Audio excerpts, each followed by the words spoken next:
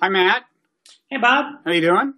Good, good. How are you? I'm okay. Let me introduce us. I'm Robert Wright. This is the Wright Show. We're on uh, meaningoflife.tv, sister site of bloggingheads.tv, on which you've been many times. And you are Matt Yglesias, famous journalist. Is that the way you describe yourself? Always. Uh huh. And it works, right? It does. It does. People say, "Oh yeah, I, I must I, know." sure, you." sure. I know you. I know your work. I love you. Oh. I, yeah, totally, totally.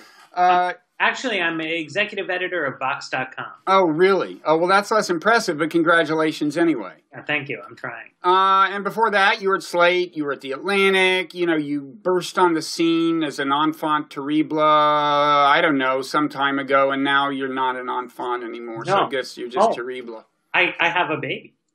I know. So many things have happened since you first showed up on Blogging Heads TV. You got Yeah. married and you had a baby in that order, I think. Yes. And uh, and and and that's great because we're going to talk about the meaning of life, specifically the meaning of your life. And a lot of people with kids, they somehow see their kids as as figuring in to the meaning of their lives. But I don't want to lead the witness here, so let me just back up and without and, and without making any references to offspring, ask you, Matt Yglesias, what gives your life meaning? Well, you know, it, it is definitely true that when you have a child, at least when I had my child, you find that that gives a, a, a lot of meaning to your life. I mean, it's obviously it's a it's a lot of time and a lot of work, as I think that people know. Um, but it does even beyond the time that I spend uh, with with with my son and and and actually taking care of him. I do feel that sort of all aspects of, of my life, at least six months into it, are sort of suffused by the fact that, you know, my wife and I are working on this kind of like big project that involves a, a tiny, helpless human being uh, who's going to be, you know, in our in our care for a long time. Um, I'm enough of a sort of a you know, a, a cold blooded rationalist, that I'm aware that this feeling of mine is like the product of millions of years of, of evolution and sort of instinct, that, uh, you know, I am the surviving descendant of a long line of people who, for whatever reason, bothered to take care of their children. Uh, and I'm sort of following that instinct blindly rather than probably there being a, a really objective rational basis for it, uh, but it is very genuinely how I feel about things. And that and the knowledge of where this feeling springs from does not diminish it. I take it, or does it? No, I mean, I don't really think that it does. I think that's one of the interesting sort of things about life. You know, at a, at a certain point, I began to feel like uh, I, I would like to have a kid, and uh, you know, we did it, and then then the baby is born, and it's like I, I really love him, and I'm I'm well aware, sort of scientifically speaking, of how that comes about, uh, but it doesn't make it any less real. So the fact that this is just your genes' ways of making copies of themselves, that does that's not taking the fun out of it for you. Yeah, and I, I do think that sometimes that's the wrong way to think about science, you know. So like there's a table in front of me and, and my laptop is sitting on the table and and I know that according to like physics and chemistry, what appears to be a solid object, there's in fact a lot of empty space in it. hmm You could you could throw the word just around a lot and say, oh, that's not really a table. It's just a lump of molecules bound together by a strong and weak nuclear force. Um, but there's really nothing just about it. It's just that that's what. You just use the word "just," though. I would point out. Damn it! Um, it's a fact about tables that that is how they are made up, and I do think that it is a fact about parental affection that it stems from an evolutionary history, and there's probably things that people who are smarter than me know about the neurochemistry of it, and it can be fascinating to dive into those things. But it, it seems to me that it would be a mistake to say that you have diminished something simply by understanding its microstructure. hmm And some people go in the opposite direction and say they're filled with awe and wonder by the fact that from this, you know, seemingly mechanistic and seemingly ruthless process of natural selection, you know, to just just superficially ruthless. I mean, from that, from that spring things like love. That's are you I- filled with awe and wonder even as I say that? Uh, you you phrased it in a more awe and wondery kind of way, um, and it's you know I mean it's interesting how I, I, do think at least that sort of whole systems of of morality, including you know more high-minded and impersonal types of types of ideas, do seem to spring out of these kind of basic mechanisms of care for your family and, and your kin and, and, and that kind of thing. Uh, at least that's sort of my understanding of it. But it's it's a there's some fairly astounding feats of human cooperation uh, that we're able to pull off, as sort of built out of these kind of little building blocks of uh, I don't know taking care of babies. Yeah, I think we're better than you might have predicted if you had just heard a bare bones description of the process of natural selection. Right. And, you know, I mean, certainly you look at these sort of, you know, small bands of chimpanzees or whatever, and it's they're kind of cool, um, and they can you know dig things out with sticks and stuff. Um, mm-hmm. but you know, hu- human beings, Homo sapiens, have pulled off some uh, some some pretty astounding kind of things out of the kind of pretty basic toolkit that mm-hmm. that we started out with. It's great. Thumbs up to humanity. And, and, offspring. Yes. You're in yes. favor. Well, you're in favor of offspring. So I think so. Yeah. What would you have said before you got married and had your child if I had said, What gives your life meaning? Um, I don't know. You know, it, in retrospect, life uh, life from my twenties seems like a, a, meaningless series of, of senseless encounters. um, but you know, I, I, I definitely I, I, used to feel propelled forward by a lot of um, uh, petty grievances and uh, uh, uh I don't know what. But um, well, what you'll find is that that magically changes once you become a, a, parent, and the grievances become about like things that your kids' peers and teachers do to them instead of things that people do to you. It's really much much better. That makes sense. I can develop sort of one step remove grievances. Right. It's it feels more high minded because you're doing it on behalf of others, and we won't mention the fact that it's the same old genes that you're doing it for. Everything does feel more high minded because you can say, like, oh, I'm not being greedy. I'm actually just trying to make sure I can have like a really good stroller for right. the baby. I'm know? being a good father. Right, this, exactly. This is not selfish. I'm, I'm right. a good father. no, I mean that is that is sort of the trick of it. I, I think I have like a, a better understanding of um, prestige cable drama uh, anti-heroes. Um, you know that this is like Tony Soprano's rationalization to himself of everything that he's doing is that totally. he's a generous father to his kids. Mm-hmm. So that means you know he's actually a good person. And I mean, obviously that was.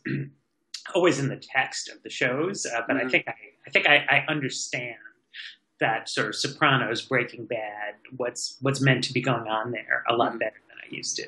Yeah, you have the makings of a great father. You're totally getting it. I like that. Sure, ready to go. I'm cooking up meth. so, so, uh, so one might infer from your perhaps somewhat facetious claim that your entire life was meaningless prior to having a child that now when you go to work and do your work, you find no meaning in it because that's after all that's what you were doing before you had the child, and you now declare that meaningless. Yes. So would you care to revise your remarks or or something? no, it's uh, it's it's uh, it's a hollow shell of uh, existence, and um, no, I, have actually been really excited over the past year and a, a half to have participated in the sort of starting of a of a new website and a um, that's Vox, yes. The Vox, Vox. Vox.com. Click, click and share. Um, and, and it's been, uh, on one level, it's like I've sort of been glad to like amp up my level of work stuff to, to sort of raise the stakes, to keep it sort of feeling real. Um, I do think that I, I really loved working at Slate, and that was a tremendous group of colleagues, and I um, really liked the, the stories that I was writing there, but it is harder for me to be excited about continuing to do the sorts of things that I've been doing for a while. I mean, everything in life gets boring a little mm-hmm. bit, um, but you know, children and the stress and the and the hassle of that ha- has a certain way of like deadening how other things feel, and it's been good in a lot of ways to be also involved in something that at least is, is very new to me and is is sort of dynamic. By the way, I don't generally do plot spoilers, but the exhilaration will subside somewhat as the years advance. I am absolutely. I hope so. Yeah. Yeah, and then I can start. I don't know what web video schemes. Uh, yeah, that's actually that I don't recommend. I recommend Parenthood more highly than I recommend. That. Okay, fair enough. Fair um, enough. But uh, so, but you still do actually get work from your meaning, presumably, right? Get meaning from my work. Yeah. Yeah, I don't get work from my meaning. Did I say work from your meaning? Yes, you did. Um, that's okay. Um, yeah, no, no, no. I mean, I do. I mean, I, I, I have a, a, a line of work that I like. Um, I have a lot of ability to sort of write about things that I'm interested in, and that's really good. And I really like. I don't know how old timey print. I'm sure I can answer this question, but go ahead. But I, I do really like that I hear back from people constantly about stories that I wrote. Um, sometimes I roll my eyes, and you know, you you hear a lot of annoying feedback, uh, but it's actually always really nice to hear that people have read what you've done and that they bother to give a damn about it. It's better when you hear nice things from them, but there's something reassuring about even uh, getting mean feedback. You know, it's like mm. it's good to know that someone cares this is not by and large a conversation about journalism, but you raise an interesting point. And the answer, that I think somewhat significant and consequential answer to your question is what it was like to be an old fashioned print journalist before there were like, you know, comment sections and sharing in the digital sense. Twitter, Twitter mentions. It, all of that yeah. is that much more of the feedback was, sociologists would say, elite mediated. It was right. like you heard from your peers, your colleagues. They heard things at cocktail parties consisting of peers and colleagues and so on. And I think that's actually had an influence. I mean, people complain about clickbait journalism. Right. Well, this is one, you know, you, you, you perhaps fortunately did not know what, you know, the grassroots response to your work was back then. And, and that may have led to, in some cases, uh, better journalism. I don't know, but I don't want to sound like an old cranky guy. And besides, this isn't about me. No, um, but I mean, I do think that I, I think that's true, though, and it, it is a. I mean, on just the question of meaning, something that you do see journalistically in the social shares and whatever else is what kinds of subjects have meaning to what kinds of people out there. You know, what what do they care about? Um, and it is true that it is often not the same as what do the people who I uh, socialize with personally care about. Um, you know, I know I, I, all of us know an idiosyncratic group of people, um, and that's good. It's it's nice in life to have communities that you participate in and that are to some extent like-minded and, and share certain kinds of interests. And then it's fascinating to see different ways of interacting with kind of like the broader world and what do people know, what do people care about there. Um, but sometimes it's really jarring yeah. No, I like it by and large. I mean, the feedback can be very gratifying, and and you know you get it in lots of ways, and I'm uh, very happy with with the modern world. So, but back to you. Yeah. So, and this whole meaning thing, you're not like religious, right? You weren't brought up religiously in the conventional sense. Uh, we we had a a, a mild amount of, of Jewish holiday observance in my upbringing.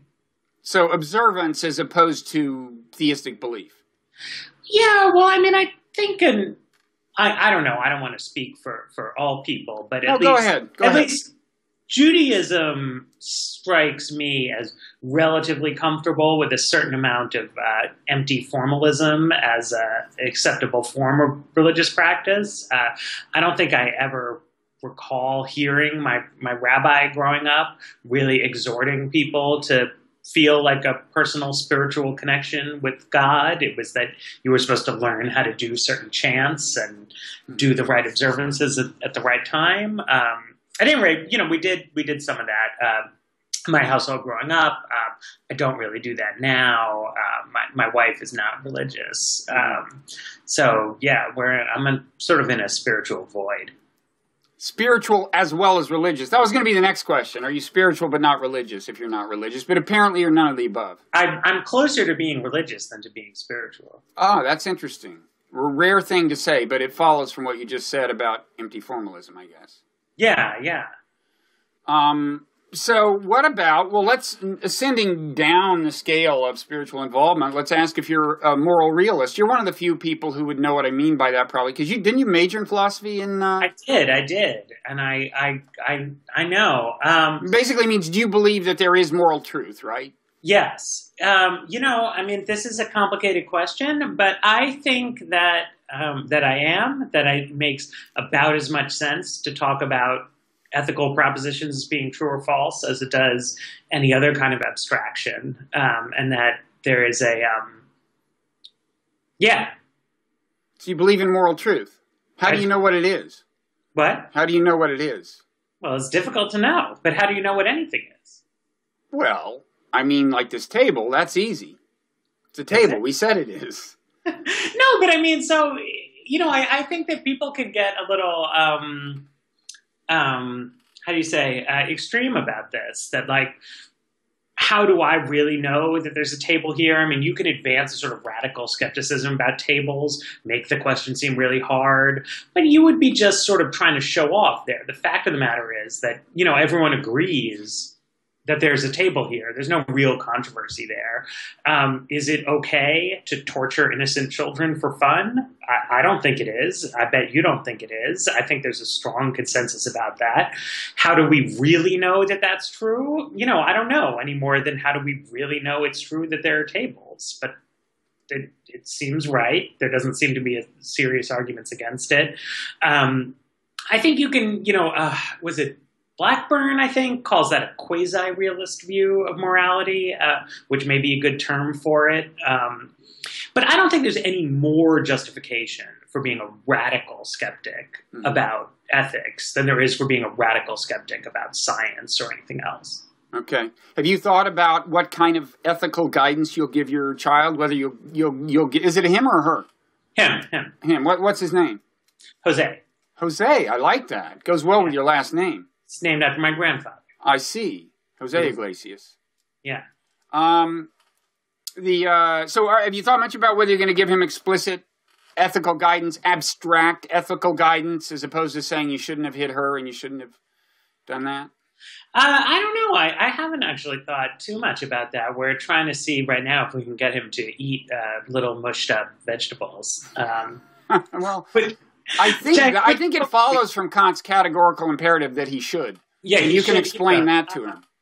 No, you know, but I, I do think that the sort of baseline ethical guidance that you should um, try to treat people how you would want to be treated if you were in their situation, that you should think about that seriously. I think that's a sort of a, a slogan that we find derived uh, from a lot of different sorts of background principles, and that it, um, you know, does a lot of good sort of good work as a way to think about things. Mm-hmm.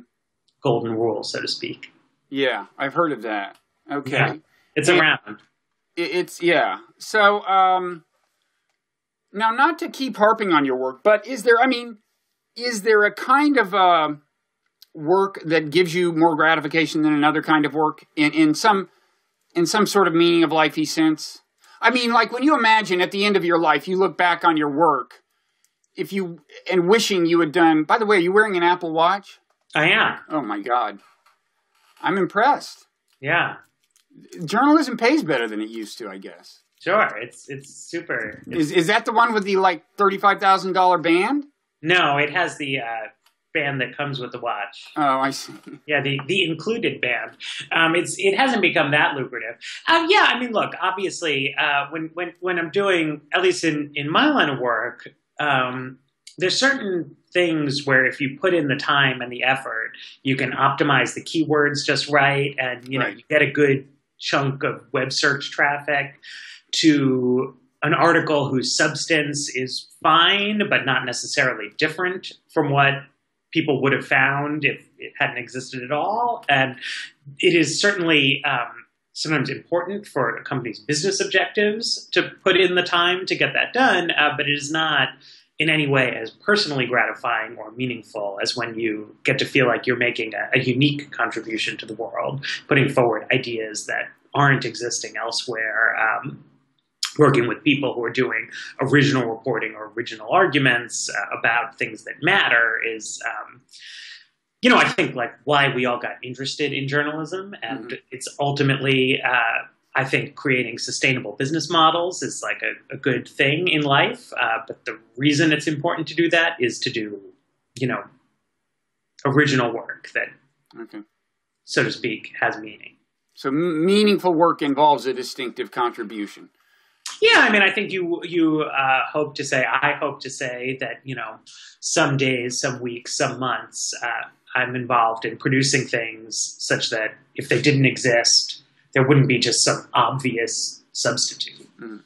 So this is what legacy is. It's kind of a definition of legacy, right? Looking back and saying, well, the world would be different uh, had I not lived, and arguably would not be as good a place. Yes, that's what you strive for. That's it. Boom. And you know the sermon that I that I am, am tempted to give you on this. If you really want to have the most distinctive and productive impact possible, you know where I would steer your focus. I don't. You don't? No. Sure, you do. Oh. You should do more for, foreign policy writing. Oh, okay. I'll be back. Did you come here for that kind of guidance? Yes. To this conversation? That's why I seek seek you out. Um, you know, I'm I'm glad to see this uh, this nuclear deal. The Iran nuclear deal, yes. As I wouldn't. I'll tell you, I wouldn't. I wouldn't. I wouldn't celebrate yet. These these uh, the opposition is uh, relentless.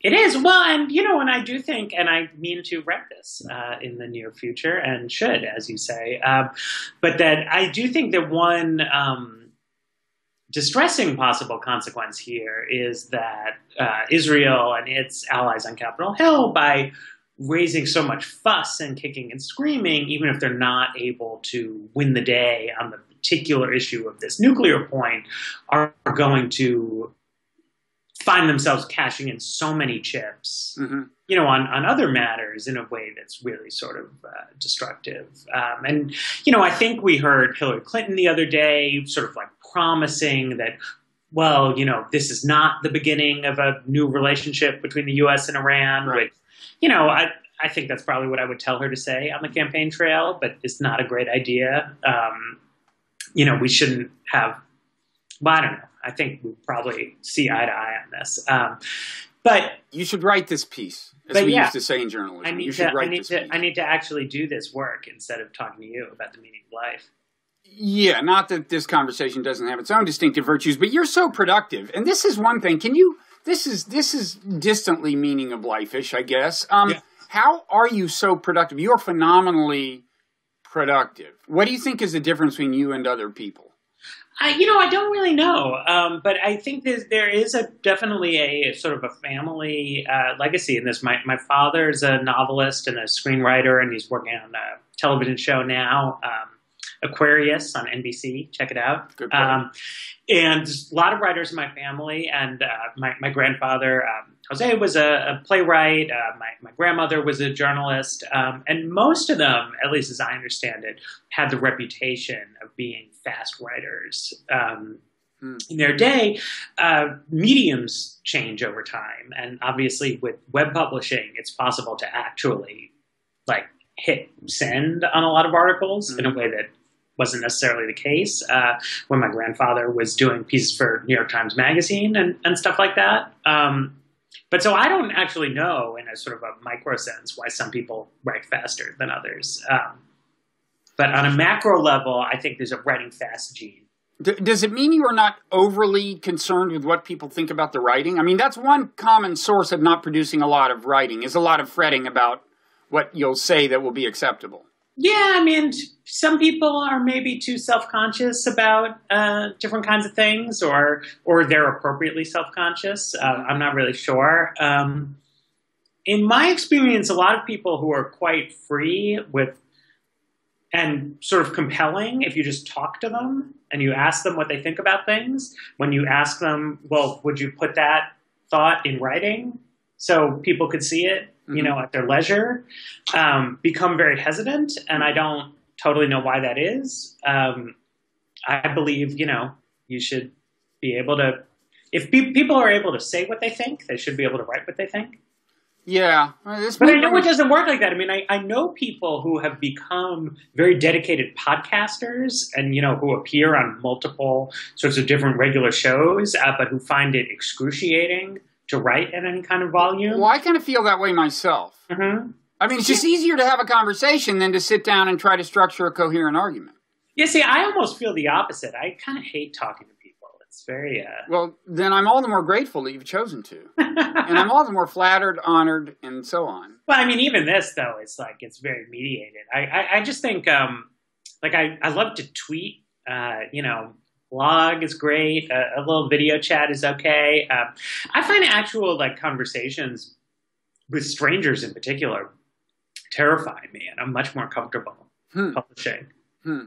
Maybe this explains it. Okay. So before we go, we must discuss your impending death.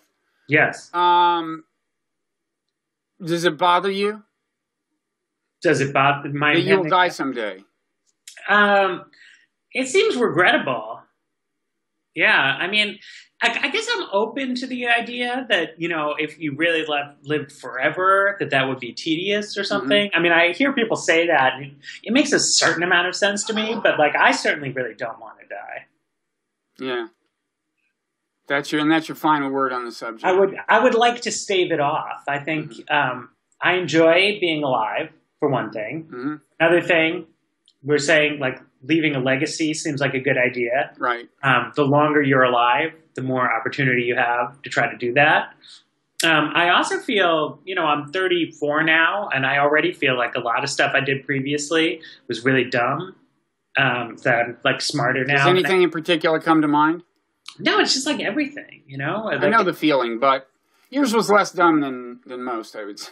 Um, no, but it's like I don't. I, I, I, definitely feel, you know, like physically, like my best days are probably behind me. Like my like crazy. Now, if you were a mathematician, that would be true. and and we no no I mean I'm saying like like like aspects of uh, uh you know uh, of my life are like that, but that in a lot of ways I still feel like at least like I get smarter and wiser about things, and that um That that is these are the two the two curves whose relationship defines something or other. Sheer analytical sharpness, which has probably already started to decline even in your case, and that's why mathematicians fade out early. But then there is the accumulation of knowledge and wisdom, and what we hope, you and I both, is that Google related technologies will not become so sophisticated and subtle that even that advantage, the, the advantage of knowledge, will begin to erode.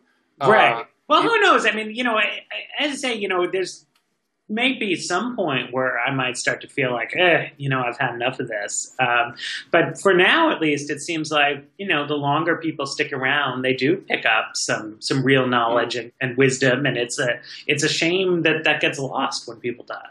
Well, you still have some time left, I think, because I know I was talking to you know the historian William McNeill. Yes. Was talking to him on the phone, maybe the first conversation I ever had with him, and at some point, this was years and years ago. He said, "How Uh-huh. old are you?" And I said, "I don't know. I was like 42, I guess." And he said, "You are at the height of your powers." So, so you have eight years left, and that's good. That's good. I'll I'll try to think come up with something good.